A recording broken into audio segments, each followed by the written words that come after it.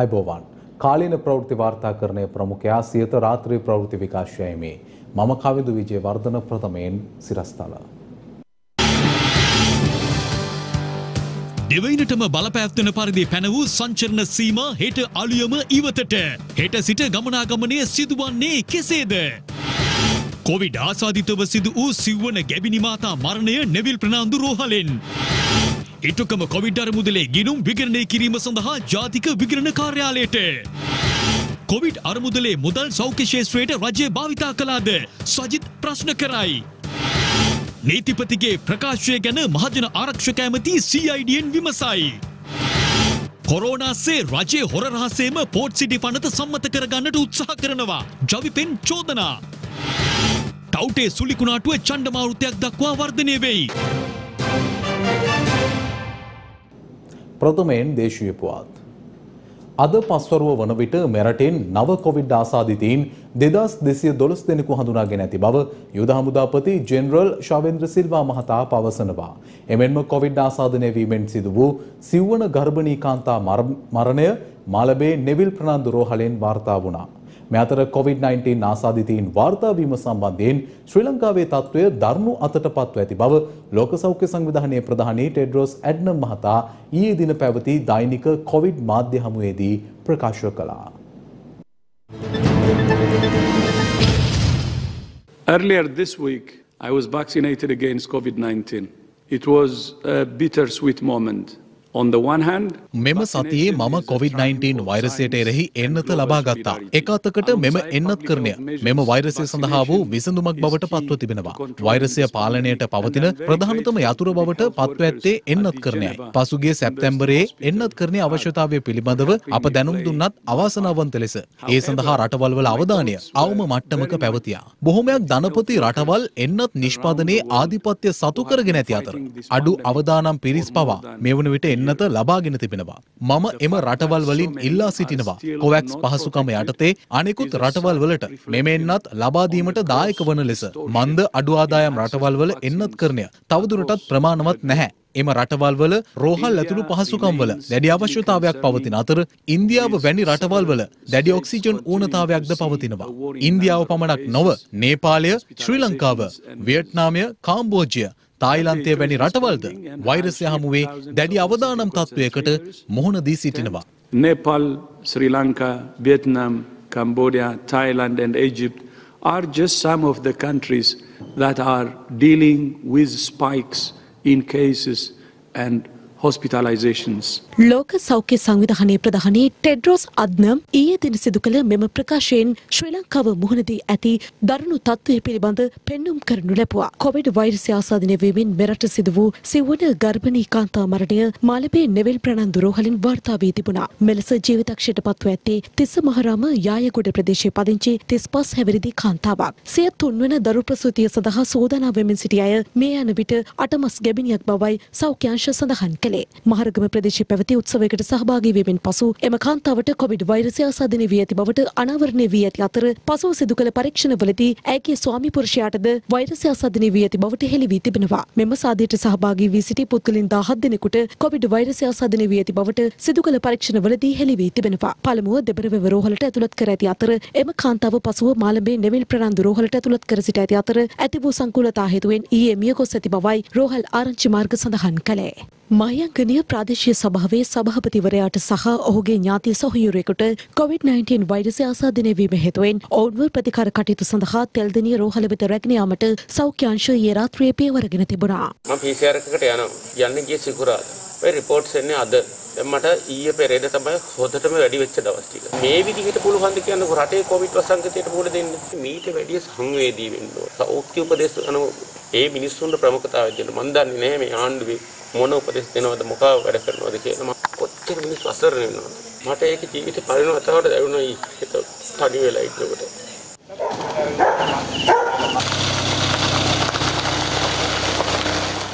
යටියන්තොට සෞඛ්‍ය වෛද්‍ය නිලධාරී කොට්ටාසේ කිතුල්ගල හෙලානඹ ප්‍රදේශයේ දානමය පින්කමකට සහභාගී වූ 13 දෙනෙකුට COVID-19 වෛරසය ආසාදනය වී ඇති බව යටියන්තොට සෞඛ්‍ය වෛද්‍ය නිලධාරී කාර්යාලය ප්‍රකාශ කළා. නොවිට පොලිස් වසමට අයත නොවඩ නිවවැලි වත්තේ පිහිටි පෞද්ගලික ඇඟලුම් කර්මාන්ත ශාලාවක සේවකින් දෙසිය අසූ දෙනෙකුගින් සිදු කළ රැපිට් ඇන්ටිජන් පරීක්ෂාවේදී අසාධිතයින් දහනව දෙනෙකු හඳුනාගත් බව මස්කලි සෞඛ්‍ය වෛද්‍ය නිලධාරී දිය චන්ද්‍රරාජන් මහතා ප්‍රකාශ කළා. එසේම එම ආසාධිතයින්ගේ ළඟම ආශ්‍රිතයින් හැට දෙනෙකු මෙවන විට ගෘහස්ත නිරෝධානයට යොමු කර ඇති බවයි වාර්තා වුණේ. නොවඩ ප්‍රාදේශීය සභාවේ සභාපති රවී කුන්දබෙල් මහතාට COVID-19 වෛරසය ආසාදනය වී ඇති බවට දික්කොය මූලික රෝහලේදී ඊයේ දින සිදු කළ රැපිඩ් ඇන්ටිජන් පරීක්ෂණයේදී තහවුරු වූ බවත් ආසාදිත සභාපතිවරයාගේ ළඟම ආශ්‍රිතයින් ස්වයං නිරෝධහනයට යොමු කිරීමට පියවරගත් බව භගවන්තලාව සෞඛ්‍ය වෛද්‍ය නිලධාරී කාර්යාලයේ මහජන සෞඛ්‍ය පරීක්ෂක කදිරවේල්ජේ ගණේෂ් මහතා ප්‍රකාශ කළා. COVID-19 පැතිරීම වැළැක්වීමේ ජාතික ක්‍රියාන්විතය වඩාත් ශක්තිමත් කරමින් සෞඛ්‍ය සේවා විසින් සිදු කරනු ලබන එන්නත් කරන වැඩසටහන වඩා කාර්යක්ෂමව සහ ක්‍රමවත්ව සිදු කිරීම සඳහා යුද හමුදාවේ මූලිකත්වයෙන් අද දිනේද එන්නත් කරන වැඩසටහනක් ක්‍රියාත්මක කරනු ලැබුවා. අද දින මොගලන් මාවත නාරාහෙන්පිට ප්‍රදේශයේදී මෙම එන්නත් කරන වැඩසටහන ක්‍රියාත්මක කෙරුණා.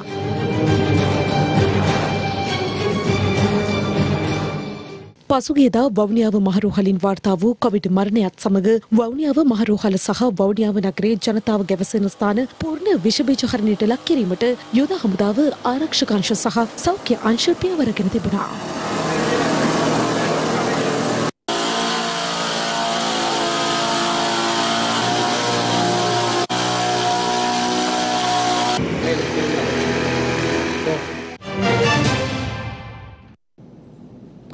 කොරුණ වෛරස ව්‍යාප්තිය හමුවේ පනවා ඇති සංචරණ සීමා අදත් ක්‍රියාත්මකයි.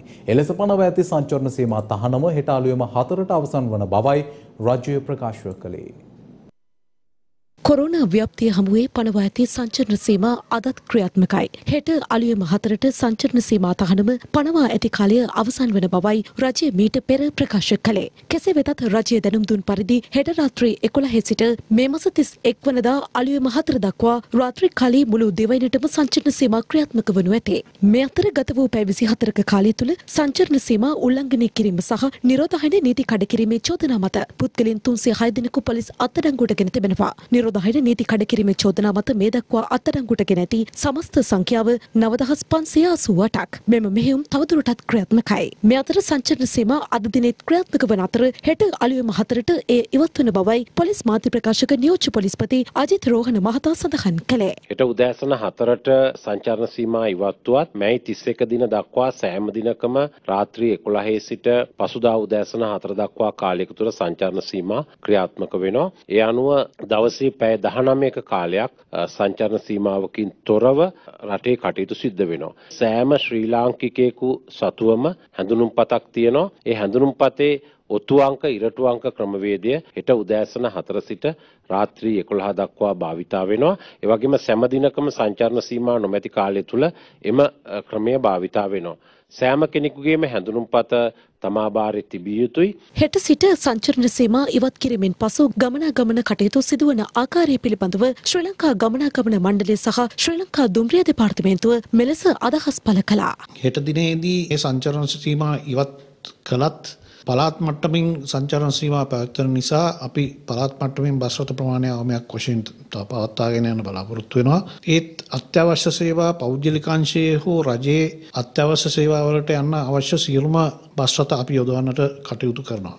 සියලුම පළාත්වල බස් රථ ඒ ආකාරයටම ගමන් කරනවා. ඊට අමතරව අන්තර් පළාත් අතර බස් රථ සීමිත ප්‍රමාණයක් අපිට රජයේ සහ පෞද්ගලිකාංශයේ ආයතනවල සේවක සේවිකාවන් ප්‍රවාහනය කිරීම සඳහා සාමාන්‍ය පරිදි යොදවන්නට සිදු වෙනවා. ශ්‍රී ලංකා දුම්රිය සේවය හෙට දිනේදීත් පසුගිය බ්‍රහස්පතින්දා දුම්රිය ධාවනය කර අයුරින්ම එම සියලුම දුම්රියන් ධාවනය කිරීමට මෙවින්ට කටයුතු සූදානම් කරලා තියෙන්නේ. විශේෂයෙන්ම මේ අවස්ථාවේදී මම කියන්න ඕන බාහිර ප්‍රදේශවලින් ඒ කියන්නේ පළාතෙන් පිට ඉඳලා දුම්රිය පහක් ධාවනය කරනවා. එම දුම්රිය ධාවනය කරන්නේ විශේෂයෙන්ම අත්‍යවශ්‍යම රාජකාරී සඳහා යන නිලධාරීන් සහ සේවකින් වෙනුවෙන්. මෙහිදී අපි එම දුම්රිය විශේෂ පරීක්ෂාවකට දෙපොළකදී ලක් කරනවා. එකක් දුම්රිය ස්ථානයට ගොඩ වෙනකොට එම මගින්. ඊට අමතරව දුම්රිය තුලදී අපේ දුම්රිය ආරක්ෂක අංශ විසින් විශේෂ පරීක්ෂාවකට ලක් කරනවා.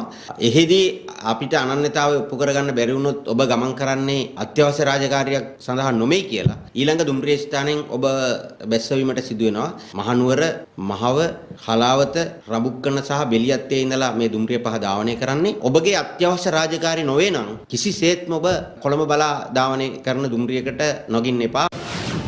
අත්‍යවශ්‍ය කටයුත්තක් සඳහා පළාත් අතර ගමන් කරන්න කියන කාරණය තහවුරු කිරීම සඳහා අවශ්‍ය ලිය කියවිලි ඇති අය සඳහා සීමිත ප්‍රවාහන සේවාවන් අපි හෙට දිනේ සිට නැවත 30 වෙනිදා දක්වා ක්‍රියාත්මක කරනවා.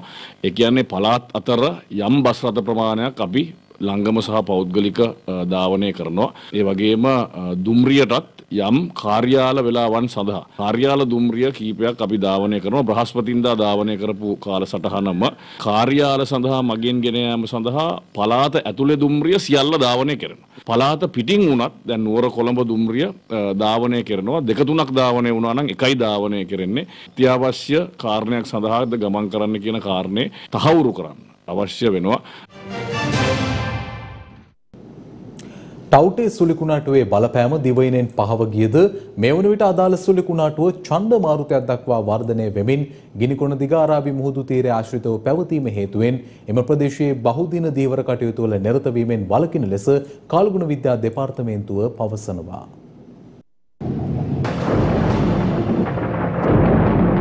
ගිනිකොන දිග අරාබි මුහුද ආශ්‍රිතව පැවති ටවුටේ චණ්ඩ සුලිකුණාටුවේ බලපෑම මේ වන විට දිවයිනෙන් ක්‍රමයෙන් පහව යමින් පවතින බව කාලගුණ විද්‍යා දෙපාර්තමේන්තුව පවසනවා. ප්‍රශ්නාහිර සබරගම දකුණු මධ්‍යම වයඹ වගේ පළාත්වල ඕනෑම අවස්ථාවක තැනින් තැන වැසී තත්ත්වයන් නිර්මාණය වීමේ හැකියාවන් තියෙනවා. උතුරු සහ උතුරු මැද වගේ පළාත්වල සිහින් වැසි ස්වල්පයක් ඇති වීමේ තත්ත්ව තියෙන්න පුළුවන්. මීට අමතරව තරමක් තද වැසි අපි අපේක්ෂා කරන්නේ දිවයිනේ සබරගමු, කළුතර, නුවර, නුවර එළිය, ගාල්ල මාතර වගේ දිස්ත්‍රික්කවල සමහර ස්ථානවලට මිලිමීටර් 30ක් 50ක් අතර මට්ටමේ වර්ෂාපතන ලැබීමේ හැකියාවන් තියෙනවා. ටවුටේ සුලිකුණාටුව ඉදිරි දින කිහිපය තුළ දිවයිනේ බැහැරට ගමන් කරනවා. ගිනිකුණ දිග අරාබි මුහුද් තීරයේ තවදුරටත් බහුදින යාත්‍රා සඳහා මෙම අවදානම තියෙන බව අපි මතක් කරනවා ඊවර හානාවික ප්‍රජාවට. දෙවැනිට බලපා ඇති අයහපත් කාලගුණ තත්ත්වය හමුවේ මන්නාරම දිස්ත්‍රික්කයේ ඇතුළු උතුරු මුහුදු සීමාවේ ඊයේ සවස දැඩි සුළං තත්ත්වයක් හටගත් බව මන්නාරම දීවරයින් පවසනවා. මේ හමුවේ බෙරළබඩ සීමාවේ දීවර නවතැන් කිහිපයකටද හානි සිදු වී තිබෙනවා.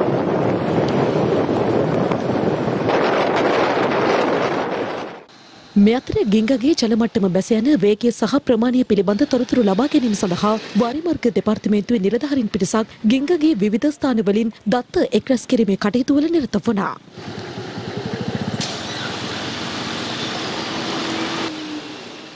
ගල්ල උඩුගම මාර්ගයේ ප්‍රදේශ කිහිපයක පස්කණ්ඩි කඩා වැටීම හමුවේ එම මාර්ගයේ රථවාහන ගමනාගමනයට බාධා ඇති වුණා. මෙතර කැලණිගඟ පිටාර ගැලීම හමුවේ හංවැල්ල නිට්ටඹුව මාර්ගයේ පෝගොඩ මාර්ගය මෙවන විට ජලයෙන් යට වී ඇති බව අප ප්‍රාදේශීය වාර්තාකරුවන් පවසනවා.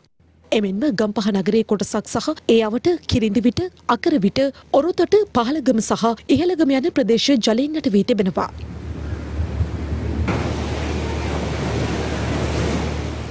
ඒ ඌරුවල් ඔය සහ අත්තනගලු ඔය පිටාර ගැලීම හේතුවෙන්. මේ අතර ගංවතුර තත්ත්වය හමුවේ විපතට පත් ජනතාව මුදා ගැනීමේ කටයුතු ගම්පහ නගර සභාව විසින් සිදු කරනු ලබන බවයි අප ප්‍රාදේශීය වාර්තාකරුවන් පවසන්නේ. ගම්පහ දිස්ත්‍රික්ක මහරෝහල ආශ්‍රිත ප්‍රදේශයේද ගංවතුර හේතුවෙන් අවහිර වුණා.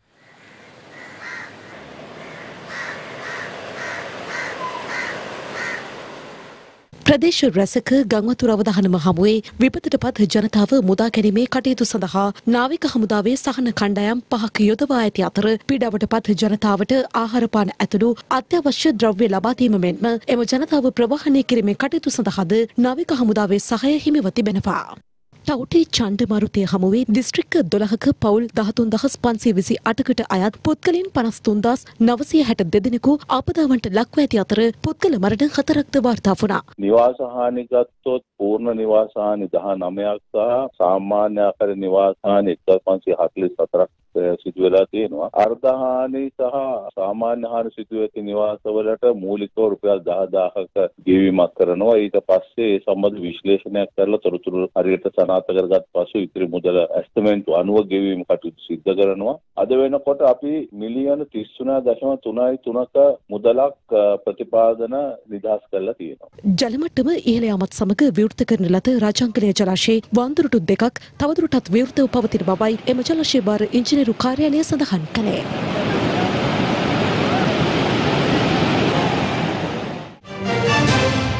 ඉටුකම කොවිඩ් අරමුදලේ ගිනුම විගණනය කිරීම සඳහා ජාතික විගණන කාර්යාලය වෙත බහර දී ඇති බව එම අරමුදලේ කර්ම එම අරමුදලේ කළමනාකරණ මණ්ඩලය පවසනවා. ජනාධිපති ගෝඨාභය රාජපක්ෂ මහතාගේ නිල ට්විටර් ගිණුමට එක් කර තිබෙන වීඩියෝවක මේ පිළිබඳව දැක්වෙනවා. කොවිඩ් වසංගත තත්ත්වය මෙරටට බලපෑම් එල්ල කිරීමත් සමග සෞඛ්‍යංශ සහ අනෙකුත් අත්‍යවශ්‍ය සේවා සපයනන්ගේ සෞඛ්‍ය හා ආරක්ෂාව සහතික කිරීම.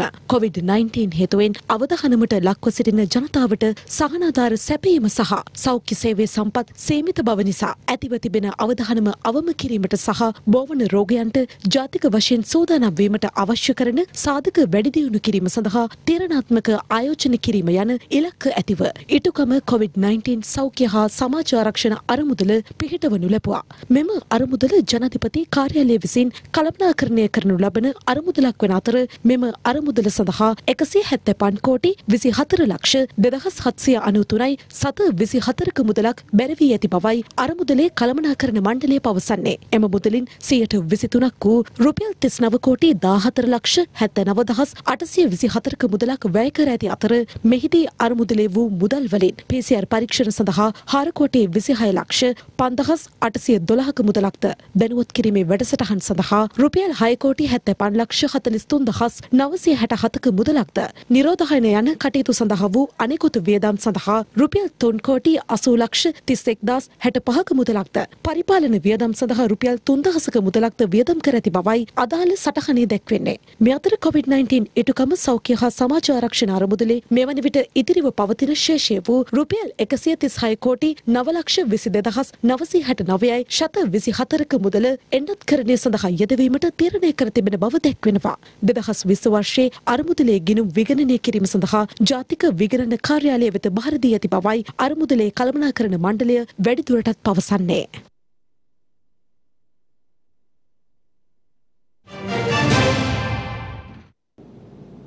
කොවිඩ් අරමුදලෙන් සෞඛ්‍ය ශේත්‍රයට අවශ්‍ය උපකරණ සහ ඖෂධ ලබා ගැනීම සිදු වුණාද යන්න විපක්ෂ නායක සජිත් ප්‍රේමදාස මහතා ප්‍රශ්න කර සිටිනවා.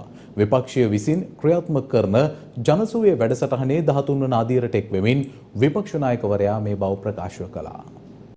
එදා අපි ගෙන්වපු ගිලන් රථයට ගෙවපු ප්‍රමාණයට වැඩිය කොහොමද අද දවසේ ගිලන් රථයකට වැය වෙන මුදල දෙගුණයකින් වැඩි වෙලා තියෙන්නේ. කොවිඩ් අරමුදලෙන් නිසියාකාරව සෞඛ්‍ය ශාස්ත්‍රයට ඒ ලබා දිය යුතු උපකරණ ආම්පන්න බේතෙත් ලබා දීම සිදු වුණා. සෞඛ්‍ය කොරෝනා අරමුදලේ අරමුදල් ඇයි එන්නත ගෙන්වන්නට යොමු කරේ නැහැ? ඒවා එන්නත ගෙන්වන්නට යොමු නොකොට වෙනත් ජාත්‍යන්තර මූල්‍ය ආයතන වලින් ඇයි මේ රජය ණය ගන්නට කටයුතු කරන්නේ? මේවා ජනතාව අහන ප්‍රශ්න. මේවා බරපතල ප්‍රශ්න. කනගාටුට කාරණා වන්නේ මේ කොවිඩ් ප්‍රශ්නය, ව්‍යසනය රජය නිර්මාණය කරපු සැලැස්ම වැඩපිළිවෙල සම්පූර්ණයෙන්ම අසාර්ථක වෙලා. ඒ අසාර්ථක වීම තුළ මේ රටේ විශාල ප්‍රමාණයකට ජීවිත අහිමිවීමේ අවදා අද බිහි වෙලා තිබෙනවා. රජයෙන් ඉල්ලීමක් කරනවා කරුණා කරලා අලස ලෙස කටයුතු කරන්න නැතුව විශේෂඥවරුන්ගේ දැනුම අරගෙන කරුණා කරලා මේ කොරෝනා මර්ධන වැඩසටහනට ශක්තිය ලබා දෙන්න. මහජනතාවට අත්‍යවශ්‍ය ආනයනික භාණ්ඩ මසකට ප්‍රමාණවත් ලෙස පිටකොටුව තොග වෙළඳ පොලේ පවතින බවත් එම භාණ්ඩවල මිල ඉදිරියේදී ස්ථාවරව පවත්වාගෙන යනු ලබන බවත් අමාත්‍ය බන්දුල ගුණවර්ධන මහතා පවසනවා. පිටකොටුව තොග වෙළඳ පොලේ නිරීක්ෂණ චාරිකාවකින් අනතුරුව මාධ්‍ය වෙත අදහස් පළ කරමින් අමාත්‍යවරයා මේ බව ප්‍රකාශ කළා. ඊයේ දින පිටකොටුව තොග වෙළඳ පොළෙහි භාණ්ඩ ලබා ගැනීම සඳහා තොග වෙළඳුන්ට අවස්ථාව ලබා දීමත් සමගම අද දිනේ පිටකොටුව තොග වෙළඳ පොළේ කටයුතු ආරම්භ වුණා. පවතින තත්ත්ව නිරීක්ෂණය කිරීම සඳහා වෙළඳ අමාත්‍ය බන්දුල ගුණවර්ධන මහතා, රාජ්‍ය අමාත්‍ය ලසන්ත අලගියවන්න මහතා ඇතුළු පිරිසක් අද එම ප්‍රදේශයේ සංචාරයක නිරත වුණා. මුළු රටටම බෙදා හැරීමේ කේන්ද්‍රීය මධ්‍යස්ථානය තමයි පිටකොටුව. මේ පිටකොටුවේ තොග වෙළඳ පොළ තුලින් තමයි පොයින්ට් පේදුරු තුඩුවේ සිට දෙවුන්දර තුඩුව දක්වා ආනයනය කරනු ලබන අත්‍යවශ්‍ය භාණ්ඩ තොග රටට බෙදා හරින. විශේෂයෙන් අල ලුණු පරිප්පු සීනි යනාදී අත්‍යවශ්‍ය පරිභෝජන භාණ්ඩ කිසිදු හිඟයකින් තොරව මාසයකට අවශ්‍ය භාණ්ඩ තොග මේ වෙළඳ පොලේ තිබෙනවා. මේ පවතින මිල ලබන සතියේ ඊළඟ සතියේ කියලා මේ ආපදා තත්ත්වයේ යටතේ වෙනස් කරන්නේ. මේ වෙළඳ සංගමයත් සමග අපි ඇති කරගෙන තියෙන එකඟතාවය අනුව මේ පවතින මිල දිගටම ඒ ආකාරයෙන්ම තියෙනවා. දිනපතාම මේ ආනයනය කරන භාණ්ඩ තොග ආනයනය කරන්න වරාය කටයුතුත් කණ්ඩුව පවත්වාගෙන යනවා. ව්‍යාපාර ආයතනත් කැපකිරීමක් කරන්නේ. මොකද ඔවුන්ගේ සේවක කාරකාදීනුත් තාම ඔක්කොම වැක්සින් කරලා නැහැ. ඒ නිසා ඒකත් ඉක්මනින් කරගෙන රටේ අවශ්‍යතාවයත් ඉෂ්ට කරන්නේ වෙළඳ ව්‍යාපාර සියල්ලම පිටකොටුවේ තොගවල සංගමයේ වශයෙන් සාධාරණ ලෙස කටයුතු කරනවා. කොවිඩ් වසංගත තත්ත්වය සම්බන්ධයෙන් සමගි ජනබලවේගේ පාර්ලිමේන්තු මන්ත්‍රීවරුන් කිහිප දෙනෙකු පළ කළ අදහස් කිහිපයක් වෙතයි දැන් අවධානය. කන්දුරට පළාත්වලට තාම එක එන්නතක්වත් දීලා නැහැ. පසුගිය සතියේ මම මහනුවර ගිය වෙලාවේ භික්ෂුන් වහන්සේලා මගේ ඉල්ලීමක් කෙරුවා. බෞද්ධ භික්ෂුන් වහන්සේලාට ප්‍රමුඛතාවය අනුව එන්නත ලබා දෙන්න කියලා. අපේ විවත්තාව හැටියට මේක බෞද්ධ රටක්. භික්ෂුන් වහන්සේලාට ප්‍රමුඛත්වය දෙන අතර අනිකුත් ආගම්වල ශාස්ත්‍රවරුන්ට මේ එන්නත ප්‍රමුඛතාවය මත ලබා දෙන්න ඕන. පැහැදිලිවම රජයේ උමනාව මේ බරපතල වසංගතයට මුහුණ දීම නෙමෙයි. ඒ වෙනුවට පෝට් සිටි කිව්සුම අස්සම් කරලා තමන්ගේ එකම ගැලවුම්කාරයා චීනාව සතුටු කරන්න තමයි මේ ආණ්ඩුවට උමනා වෙලා තියෙන්නේ කියන එක බොහොම පැහැදිලි. අද රජය රෝගීන්ව ගෙවල් වල තියාගෙන වෛද්‍ය ප්‍රතිකාර කරන්න වෙන තැනට වැඩිලා තියෙනවා. ඒකට හේතුව තමයි මේ පළවෙනි රැල්ල, දෙවෙනි රැල්ල, තුන්වෙනි රැල්ල මේකකදීවත් රජය වගකීමෙන් කටයුතු කරේ නැහැ. ඉටුකම කියලා අර මුදලක් පිහිටෙව්වා. ඒකට අපිට දැනගන්න ලැබිලා තියෙන විදිහට බිලියන 1.7ක් කෝටි 170කට වැඩි මුදල් ලැබිලා තියෙනවා. නමුත් ඒ පිළිබඳ සත්‍ය හෙළි කරන්නේ නැහැ. ඒ ඉටුකම අර මුදල ප්‍රවර්ධනය කිරීම සඳහා අපිට දැනගන්න ලැබිලා තියෙන විදිහට කෝටි 8කට වැඩි මුදලක් වියදම් වෙලා තියෙනවා ඒකේ. ඉතින් මේ පිළිබඳ විගණනය කළ යුතුයි. රටට සත්‍ය දැනුවත් කළ යුතුයි. රටේ ජනතාවට. ඉතින් මේ රටේ ජනතාවට බොරු කියමින් බලයට පත්වෙච්ච රජය මුලායම මේ රට පාලනය කරමින් යනවා. පැහැදිලිවම අද මේ තියෙන භයානක තත්ත්වය ඇතිවීමට හේතුව වර්තමාන රජය මේ සම්බන්ධයෙන් ගත්ත නොසලකී තත්ත්වය. එහෙම නැත්නම් මේ කොරෝනා පාලනය සම්බන්ධයෙන් රජය අදුරුදර්ශී ආකාරයට රජය මේක දේශපාලනීකරණයට ලක් කරමින් ක්‍රියාත්මක කරපු ක්‍රමවේදය තුළ තමයි මේ භයානක තත්ත්වයට අද රට පත් වෙලා තියෙන්නේ. ඒතකොට අද මැරෙන මේ හැම මරණයකටම වග කියන්න ඕනේ රජය. කොවිඩ් වසංගත තත්ත්වය හේතුවෙන් ජනතාව විපතට පත්ව සිටින මොහොතක ආණ්ඩුව වරායනගර කොමිෂන් සභා පනත් කෙටුම්පත සම්මත කර ගැනීමට කටයුතු කරන බව ජනතා විමුක්ති පෙරමුණේ ප්‍රධාන ලේකම් ටිල්වින් සිල්වා මහතා පවසනවා. ඒ මහතා මේ බව ප්‍රකාශ කළේ අද කොළඹ පැවති මාධ්‍ය හමුවකදී. කොරෝනා පැතිරලා කොරෝනා පිළිබඳව අපි හැමෝගෙම අවධානය යොමු වෙලා තියෙන වෙලාවක ආණ්ඩුව උත්සාහ කරමින් ඉන්නවා කලබලේ කඩමුඩියේ වරාය නගර ආර්ථික සංවර්ධන පනත සම්මත කරගන්න පාර්ලිමේන්තුව ඇතුලේ. ආණ්ඩුව ජනතාවන් ලැබිච්ච තුනින් දෙකේ බලය පාවිච්චි කරලා දැන් හදනවා 19 සහ 20 මේ පිළිබඳව පාර්ලිමේන්තු විවාදයක් පවත්වලා 20 වෙනිදාට මේක සම්මත කරගන්න. අපි හිතනවා මේක තාමත්ම බරපතල කාරණයක් කියලා. වරාය නගර සංවර්ධන පනත කලබලේ කඩමුඩියේ සම්මත කරගන්න ආණ්ඩුව තියෙන තදිය මොකද්ද කියන තමයි අපට ප්‍රශ්නයක් ලෙස තියෙන්නේ. දැන් මේක ගත්තම සරල ප්‍රශ්නයක් නෙවෙයි අපේ රටේ ස්වෛරීත්වය සම්බන්ධ ප්‍රශ්නයක්. ඒ නිසා මේ වගේ විශේෂ පනතක් සම්මත කරගන්නවා නම් ඒ පිළිබඳව සමාජය තුල ප්‍රමාණවත් සාකච්ඡාවක් සංවාදයක් සිද්ධ වෙන්න ඕන. ඔබ කාටත් තේරෙනවා දැන් මේ කොරෝනා ඇදිලා රට ඇතුලේ සංචරණ සීමා පැනවිලා මිනිස්සු ජීවත් වෙන්න විදියක් නැතුව බයෙන් ඉන්නවා. අනිත් පැත්තෙන් ගම් වතුරත් ඇවිල්ලා. මේ ඔක්කොම ප්‍රශ්න අස්සේ ආණ්ඩුව උත්සාහ කරනවා බොරදියේ මාළු බානවා වගේ මේ පනත කලබලයේ සම්මත කරගන්න. එතකොට අපි දකින්නේ තමයි ආණ්ඩුව ප්‍රජාතන්ත්‍රවාදී නම් මේක සම්මත කරගන්න එකට බයක් නැත්නම් මේක හරි නම් ඒ සඳහා ජනතාව ඇතුලේ කිසියම් සංවාද සාකච්ඡාවක් හැදෙන ඉඩකඩ ලබා දීම තමයි ඇත්ත ප්‍රජාතන්ත්‍රවාදී. පාස්කු ඉරිදා ත්‍රස්ත ප්‍රහාරයට අදාළ විමර්ශන අසම්පූර්ණ බවට නීතිපතිවරයා විසින් සිදු කර ඇති ප්‍රකාශය සම්බන්ධයෙන් මහජනාරක්ෂක අමාත්‍ය ආචාර්ය සරත් වීරසේකර මහතා අපරාධ පරීක්ෂණ දෙපාර්තමේන්තුවෙන් කඩිනම් වාර්තාවක් ඇඳවා තිබෙනවා. ඊයේ දින නීතිපති දප්පුලද ලිවෙරා මහතා විසින් පාස්කු ප්‍රහාරයට අදාළ සැකකරුවන් පස් දෙනෙකුගේ පරීක්ෂණ අසම්පූර්ණ බවත් සැකකරුවන් හතලිස් දෙදෙනෙකු සම්බන්ධයෙන් වන සාක්ෂි ලිඛිතව තහවුරු කරන ලෙසත් ඉල්ලා පොලිස්පතිවරයා වෙත පිටු එකසිය තිහකින් සමන්විත ලේඛනයක් ඉදිරිපත් කර තිබුණා. එමෙන්ම නීතිපතිවරයා ඊයේ දින මහජනතාවට දැනුම් දුන්නේ පාස්කු ප්‍රහාරය සැලසුම් කළ සහ ඊට ආධාර අනුබල ලබා දුන් කිසිවෙකුට එරෙහිව තමා විශ්‍රාම යාමට පෙර ඒ හේතුවෙන් නඩු පැවරීමට නොහැකි වන බවයි. මේ සම්බන්ධයෙන් සම්බන්ධයෙන් තොරතුරු පලවීමත් සමග නීතිපතිවරයා සිදු කර ඇති මෙම ප්‍රකාශය සම්බන්ධයෙන් අපරාධ පරීක්ෂණ දෙපාර්තමේන්තුවෙන් තමා විමසීමක් කළ බව මහජන ආරක්ෂක අමාත්‍ය රියාඩ්මිරාල් සරත් වීරසේකර මහතා අදුදැසන මාධ්‍ය වෙත අදහස් පළ කරමින් ප්‍රකාශ කළා. ඒ සම්බන්ධයෙන් මම අපරාධ පරීක්ෂණ දෙපාර්තමේන්තුවෙන් වාර්තාවක් ඉල්ලලා තියෙනවා. අපි දන්නා පරිදි අපි උද්දෘත ගොනු අටක් දැන් මීට මාස කිහිපයකට පෙර නීතිපතිතුමා වෙත ඉදිරිපත් කළා. 32 දෙනෙක් සම්බන්ධයෙන් අධිචෝදනා ගොනු කරන්නට ඒ සම්බන්ධයෙන් අපරාධ පරීක්ෂණ දෙපාර්තමේන්තුවේ නිලධාරීන් නිරතුරුවම නීතිපතිගේ නිලධාරීන් සමග තමයි මේ මාස කිහිපය තුළම කටයුතු කළේ. ඒ වගේම තමයි අපි නීතිපතිතුමාගෙන් අහුවාම මීට මාස කිහිපයකට පෙර එතුමා කිව්වේ මේ උද්දෘත ගොනු වලට බාහිරව ජනාධිපති කොමිසමේ වාර්තාව එනතුරු තමයි එතුමා බලන් ඉන්නේ කියලා දැන් ජනාධිපති කොමිසමේ වාර්තාවත් ඇවිල්ලා දැන් මාස දෙකක් පමණ වෙනවා. ඒ නිසා මේ අවස්ථාවේදී මේ එතුමා කියන්නේ යම් කිසි සාක්ෂි නැත්නම් විත්තිකරුවන් කීප දෙනෙක් ගැනද නැත්නම් කවුරු ගැනද කියන එක ගැන තමයි මම අපරාධ පරීක්ෂණ දෙපාර්තමේන්තුවෙන් විමසුවේ. දැන් ඒ වාර්තාව මට අද හැන්දෑවට නැත්නම් හෙට උදේට ලැබෙනවා. ඊට පස්සේ පුළුවන් මේ සම්බන්ධයෙන් වැඩි විස්තර කියන්න. අමතන මේ සම්බන්ධයෙන් පොලිසිය යම් කිසි පරීක්ෂණ කිරීමේ සමාජයක් සිදු වෙනවා කියලා නෑ මෙහෙමයි අපරාධ පරීක්ෂණ දෙපාර්තමේන්තුව දිවාරය මහන්සිලා තමයි මේ උද්දෘගුණ අට මීට මාස කිහිපයකට පෙර නීතිපතිතුමා වෙත යැව්වේ. ඉතින් මේ අන්තිම මොහොතේ මේ වගේ ප්‍රකාශයක් කිරීමේ හේතුව මොකක්ද කියන එක ගැන තමයි මම දැනගන්න ඕනේ. ඒක නිසා තමයි මම ඒක CID එකේ අයගෙන් ඇහුවේ. අපිටත් අවශ්‍ය වෙන්නේ පුළුවන් තරම් ඉක්මනට පාස්කු ප්‍රහාරයට සම්බන්ධ වෙච්ච අපරාධකරුවන්ට ඔබ නීතිය රැහන්ට ගෙන්න. දැන් තවත් පුවත් කිහිපයක්. දෙහිවල රොබට් පාර ප්‍රදේශයේ විසි දෙහැවිරිදි තරුණයෙකු විසින් නීති විරෝධී ලෙස නිවසේ සිට ඩ්‍රෝන යානාවක් ගුවන්ගත කිරීම සම්බන්ධයෙන් එම ඩ්‍රෝන යානය සහ අදාළ තරුණයා දෙහිවල පොලිසිය විසින් අත්අඩංගුවට ගෙන තිබෙනවා. අදාළ සිද්ධිය සම්බන්ධයෙන් දෙහිවල පොලිසිය වැඩිදුර විමර්ශන සිදු කරනවා. පොළොන්නරුව දිවුලන් කඩවල සිට කවුඩුල්ල වැව දක්වා ගමන් කිරීමට ඇති මාර්ගය වූ අනාරක්ෂිත පාලම හරහා යතුරු පැදිකින් ගමන් කළ පුද්ගලයෙකු ජීවිතක්ෂයට පත්වී තිබෙනවා. මෙලෙස මියගොස් ඇත්තේ දිවුලන් කඩවල ප්‍රදේශයේ පදිංචි දෙදරුපියෙක් බවයි අප වාර්තාකරු ප්‍රකාශ කළේ. ඊයේ රාත්‍රී නවයට පමණ කැකිරාව කුඩා කැකිරාව ප්‍රදේශයේදී පුද්ගලික ආරවුලක් මත පොල්ලකින් පහරදී පුද්ගලයෙකු ඝාතනය කර තිබෙනවා.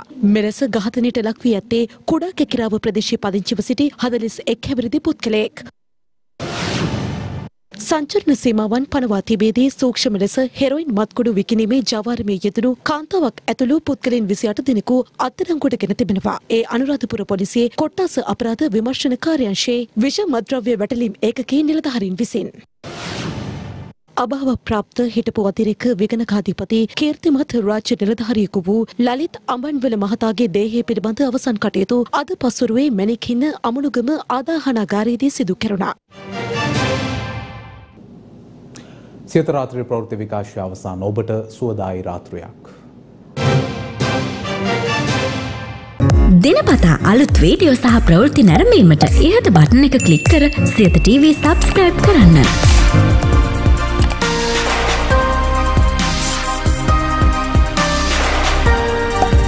අලුත් වීඩියෝ ගැන මුලින්ම දැනගන්න මෙම සීනුව ක්ලික් කරන්න.